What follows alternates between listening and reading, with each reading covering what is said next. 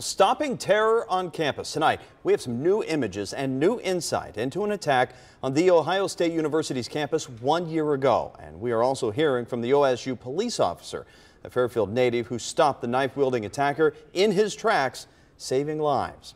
New at 11, Evan Millward cracks open the case file on the attack. It's previously unseen evidence you are seeing first on 9 on your side tonight. Fairfield's Alan Horujko opens up about the moment he stopped Abdul Artan. We're able to piece together the investigation.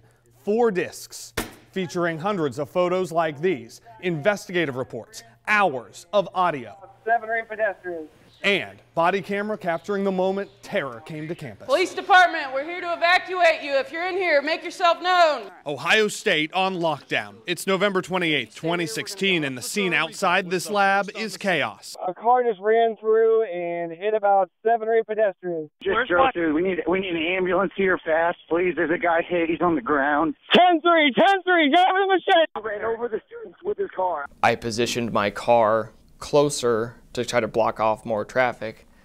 And as I was getting out and running up to the vehicle, um, I noticed that the driver's side door was open, which it was kind of weird. Fairfield native Alan Horujko was just starting a 16-hour shift that day, arriving outside Watts Hall to handle traffic for a report of a gas leak. And at that point in time is when I heard like a secondary wave of screams. In the ensuing chaos, he spots Abdul Artan. I yelled after him multiple times, you know, drop the knife, drop the knife, drop the knife, but he never looked back at me. Eventually, he did. Shots fired, one down. In crime scene photos, you can see Artan's knife. Police say this photo shows Artan buying it at a Columbus area Walmart hours earlier, and he had posted a manifesto on Facebook minutes before the attack, quoting, Sick and tired of my Muslim brothers and sisters being killed and tortured everywhere, all pointing to a plan unaccounted for, was a humble hometown hero. Grateful, I guess. Just grateful I was there.